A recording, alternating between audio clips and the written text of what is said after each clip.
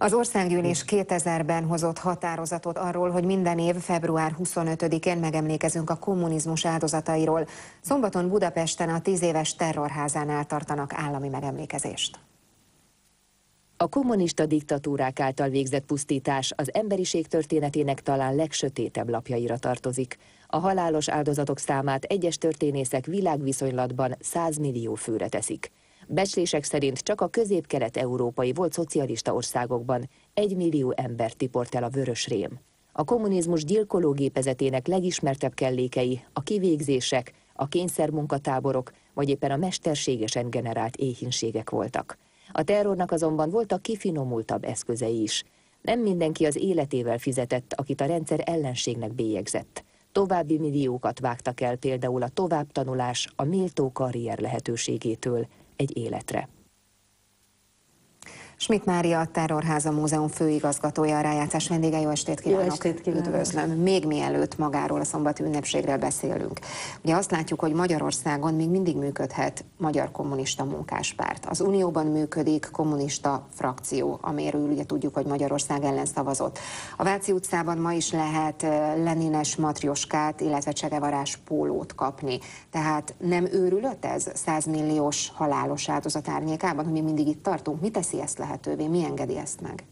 Talán még nem tudatosítottuk eléggé mindazt a szörnyűséget, amit a kommunizmus alatt elkövettek az emberekkel szemben. Talán sokan még mindig azt gondolják, hogy hát ez csak egy olyan jó célokért, hát rosszul kivitelezett kormányzási forma volt valamilyen hát enyhe demokrácia, nem volt kiépülve teljesen. Épp a Nemrég néztem meg egy filmet, amit a francia televízió csinált, és ott, ott arról beszéltek a Brezsnyev korszakkal kapcsolatban a franciák, hogy hát nem, nem korlátozott volt a demokrácia.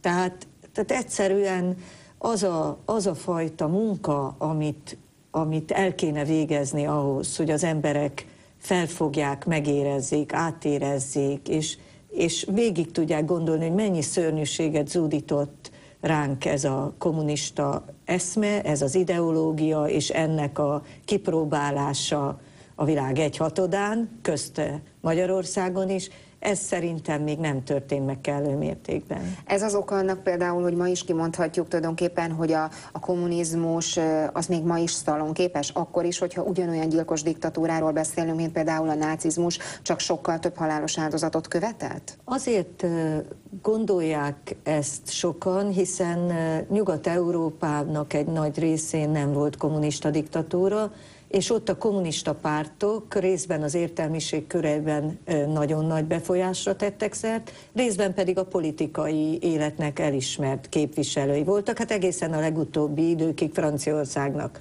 kommunista miniszterei voltak, és jelen pillanatban is az olasz köztársaságnak az elnöke egy olyan kommunista, a kommunista, aki személyében 1956-ban a szovjet beavatkozásért szólalt fel, és a magyar forradalmárokat és szabadságharcosokat lefasisztázta.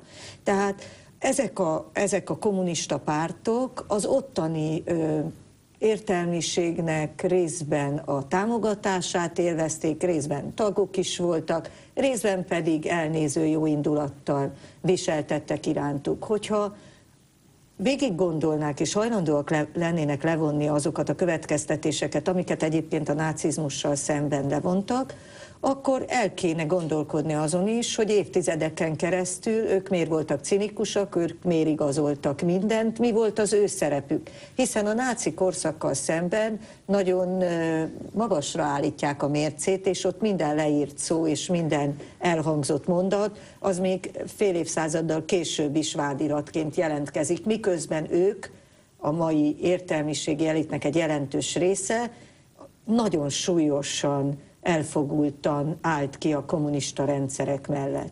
Ugye 12 éves a kommunista diktatúrák áldozatainak emléknapja, és 10 éves születésnapját ünnepli a Terrorháza Múzeuma. Önök 10 évvel ezelőtt hogy fogalmazták meg a múzeum célját, arszpoétikáját, ha úgy tetszik, és most így 10 év távlatából visszanézve, hogy látja, mi valósult meg ebből? Mi azt tűztük ki magunk elé, hogy egy nagyon érthető, érzelmileg is átélhető nyelven mutassuk be ennek a két diktatúrának a természetét a magyar polgároknak, hogy átélhető legyen azoknak a számára, akik voltak olyan szerencsések, hogy már nem kellett megélniük ezt, de megértsék belőle, hogy mind mentek keresztül szüleik, nagyszüleik, dédszüleik, esetleg jöjjenek el együtt, és együtt nézzék végig, és, és magyarázzák el, hogy ők mit csináltak akkor, mi volt a kitelepítés, miért voltak a Szovjetunióba hurcolva a gulágra, és így tovább. És az is a, a célunk volt, hogy ezeknek a diktatúráknak a történetét másképp mondjuk el, mint ahogy azt tanították a, a marxizmusnak az alapján az elmúlt rendszerben, ahol a történelem is, és az ideológia is, és a közbeszéd is monopolizálva volt, csak egyfajta történelem szemlélet létezhetett, mindenki azt tanulta, és mindenkinek ezen a kereten belül kellett gondolkodnia, beszélni ezekről a dolgokról. Azért is volt a baloldal részéről akkora ellenállás, mert a, a két totális diktatúra önkényuralmi jelképeinek egymásra helyezésével a homlokzaton egyértelművé tettük, hogy mi egyformának látjuk ezt a két ember ellenes rendszert. És, és ő nekik pedig ez a, az identitásuknak a, a legfontosabb részét támadta meg.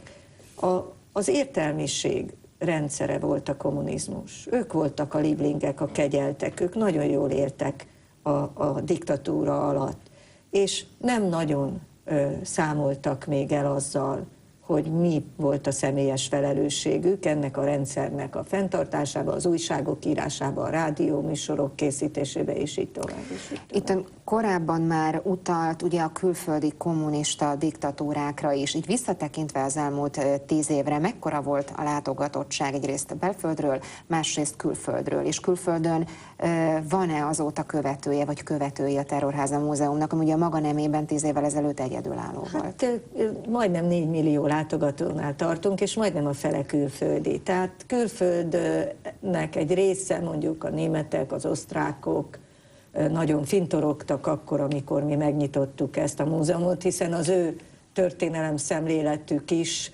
teljesen más volt erről a korszakról, mint a miénk. De az angol szászok, az amerikaiak, az olaszok, a spanyolok, dél-amerikaiak és az volt szocialista országok, azok az első pillanattól kezdve a magukénak érezték ezt az intézményt. És már azt látjuk, hogy nagyon sok külföldi fiatal is eljön, Budapesten ez az egyik legnépszerűbb turisztikai cél, és a Magyarországra látogatnak államférfiak, politikusok, azok is minden alkalommal eljönnek és megnézik az intézményt. Hogyan ünnepelnek, hogyan emlékeznek szombaton, nagyon röviden? Mi arra kérünk mindenkit, hogy jöjjön el egy szál gyertyával, vagy mécsese, vagy csak sétáljon arra, majd adunk nekik mécses, gyújtjunk együtt gyertyát az áldozatoknak az emlékére, hajtsunk fejet a hőseink előtt, és megvető pillantásokkal tekintsük végig a tetteseknek az arcképeit. Négy órakor kezdődik egy, egy nyilvános nagygyűlés, amelynek a főszónok a Hende Csaba lesz, és beszédet mond a közalapítványunknak az elnöke Balázs Piri László úr is, és Talai Gábor programigazgató, én is, zene is lesz, film is lesz, és mindenkit szeretettel várunk, és ingyen is be lehet menni a múzeumba. Főigazgató asszony, köszönöm szépen, hogy elfogadta Én is nagyon köszönöm, minden jót.